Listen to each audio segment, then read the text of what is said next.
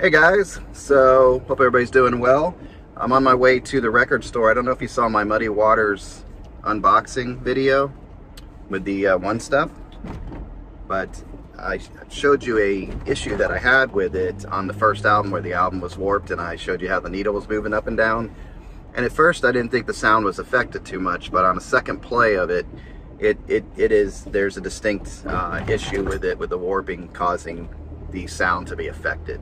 So I called over to MoFi and a nice lady, D, she answered the phone and she explained to me that if I if I had ordered from MoFi directly, sorry, I'm going to put my window up. It's such a nice day, I have the window down, but I'm sure you don't want all that noise.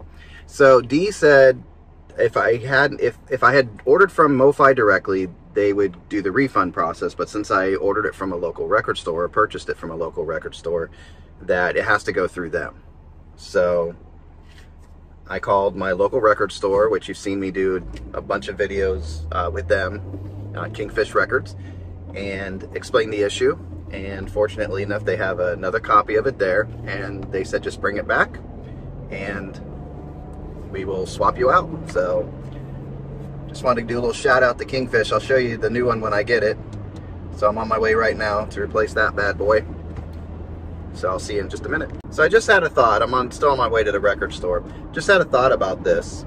And this is where you have to be careful, I guess, when you're purchasing something like MoFi, is when you, I think now what you need to do is find out where that person purchased their copy. Because here's the thing, if, if I go on to, I don't know, eBay or something and I buy that album, and, or this box set, and I have an open and I have a problem with it, so I can't call MoFi to fix the problem. And if I don't know where, what store or where it was actually purchased from, it, it seems like you're kind of dead in the water. So this would be good to know if you purchase one of these things, find out where they actually, what physical brick and mortar store, how they purchased the album. If they say they got it through MoFi, I don't know. I don't know if you need proof or something. So this this actually raises a lot of questions, and I don't have the answer to them. You know, so if they bought it from MoFi, what is MoFi um, going to require? Are they going to require the receipt or proof of purchase from the other person? So that might be important for the buyer to get with their box set. Um, or like the record store, I guess that would be easier. But say you're in, you know, I don't know, Europe somewhere, and you you buy this thing from somebody in Florida how do you get it returned? So unless you have somebody that really will work with you who sold it to you. So this raises a lot of interesting questions and it makes me a little more, you know, leery because I don't really keep, you know, like a receipt or anything when I buy it. And so when I go to, to, to sell something, if I ever did, am I putting that other person in a bad spot or am I just going to have to eat it? You know, I don't know. It raises a ton of questions. Sorry, my mind's just kind of bumbling around. So if you have any experience with this, leave it in the comments. So I'm almost to the record store now.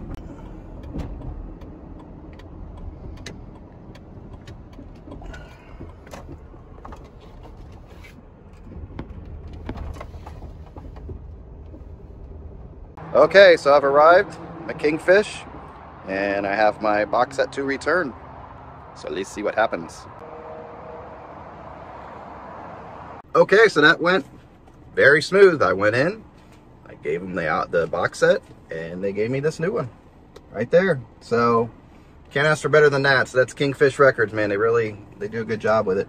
And, uh, and it, the, the number is about 8,000. Like I said, I don't really, you know, worry about it, but I'm always curious what the number is. So it's about the same uh, number that I got the last time. So yeah, everything looks good here. So I'll, um, I'm not going to put you through a whole listening thing like I did last time, but I'll go ahead and home and play this and then I'll let you know what I what I think of it. So I'm headed home now. Okay, so I got it home, listened to it. It sounds fine. Um, sounds just as amazing as the other copy, so there's no, no problem there. Um, but uh, there's still a little bit of an issue. Uh, first of all, they still, I mean, look at that. You think they would get this right? I don't know what would be causing that because the record is in a uh, cardboard I think I showed you in the last one. if I can get it out of here. Let me just put this one down. The record's in a, like a cardboard sleeve of its own, or a little holder. So it, it's in this. So you open this up, and then you have the album, and it just kind of protects the album. It's like an extra little layer, which is cool. So I can't imagine that is what's causing this, like banging up against it inside. I don't know. But that's that's disappointing. It's on both of those again. So again, you pay for a product like this, that's inexcusable for me. There's still a little bit of a warp on one, but it's it's a lot less. I'm going to show you. I just wanted to make sure it wasn't my record player. You know, the, the disc itself causing the problem, but I, I'll show you the second album and you'll see that it's not that. So you can see right there.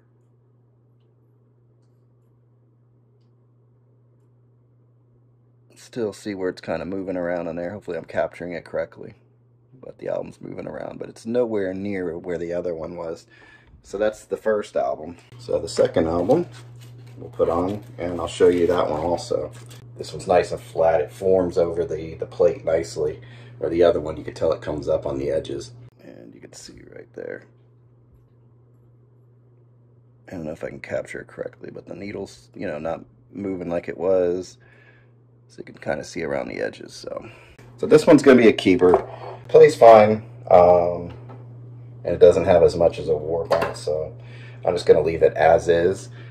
But um, it, it was pretty cool that the folks over at Kingfish just didn't even ask me a question about it. They took my word for it. Um, you know, showed them the album, and um, you know they had another one ready for me. So, like I said, the big question is is how do you handle it if you sell one of these things? So if you don't buy it directly from, if you don't, you know, I guess keep your receipt and have your original receipt available even if you sell it to somebody. So when they open it, they don't have an issue. So, because that could become a problem for you as a seller, I would think. Because uh, if they get something that's not open, you don't know if there's anything wrong with it. But if they open it and find that there's a problem with it, um, what do you do as far as helping them out, right? Because you want to help them. You can either just take it as a return and be done with it and go through the whole process. But, um, you know, but uh, again, a, a, a, quality product like this. Oh, the other thing I wanted to show you was kind of cool. Almost forgot. But let me finish my thought the a quality product like that, we shouldn't have to worry about these things. So that's the disappointing part that we even have to have that conversation, right? So, but it was kind of cool. I don't know if you can see it here. This this looks like a just a black record, right? But let me see if it'll work. if you hold a light up to it, I put it here. I'm putting it on my its sleeve. Okay, so if you hold a light up to it, like I said, it looks, I can't even see it here, it's really cool. I, can, I don't know if you can see it here, it looks like a regular album, regular, um, just black vinyl. But if you, if I can get it to do it, you can see right through the dang thing. I don't think I can, can you? No. Well, I guess you can because that light is on the other side of it and you can see it moving around. But if you hold it up just right, you can see all the way through this album, which is really wild. So I don't know if I even get close enough, you can see me behind it. But if you can see me, but anyway, take my word for it. You can see right through this sucker. So that is pretty cool. So anyway, I hope you uh, this worked. There's uh, informational for you and you got something out of it. Just wanted to share it with you. Just a little follow up from my other video. But this one's going to be a keeper. Um, you know, a little bit of warping. I guess I'm just going to be fine with it. It doesn't affect the sound, so we're done. So anyway, uh, if you have any experience with one of your own, leave it in the comments below or any, any other questions or advice about this issue that I came up with. Um, leave that in the comments. And until next time, hope you guys enjoy your music and you take care out there, all right? Bye.